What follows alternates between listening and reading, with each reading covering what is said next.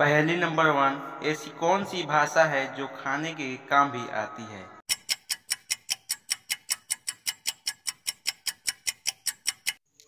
इसका उत्तर है चीनी भाषा। पहली नंबर दो, ऐसी कौन सी चीज़ है जो खरीदते समय, हरी और इस्तेमाल करते समय लाल होती है?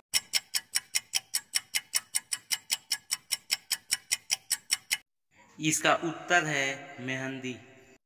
पहली नंबर तीन, वह कौन सा काम है जो इंसान मरने के बाद भी कर सकता है?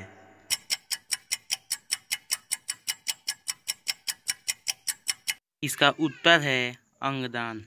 पहली नंबर चार, उस चीज़ का नाम बताइए जिसे पीटने में लोगों को बहुत मज़ा आता है।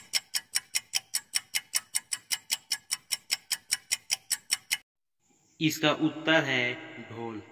पहेली नंबर पाँच, ऐसी कौन सी जगह है जहाँ सौ लोग जाते हैं तो एक सौ एक लोग आते हैं?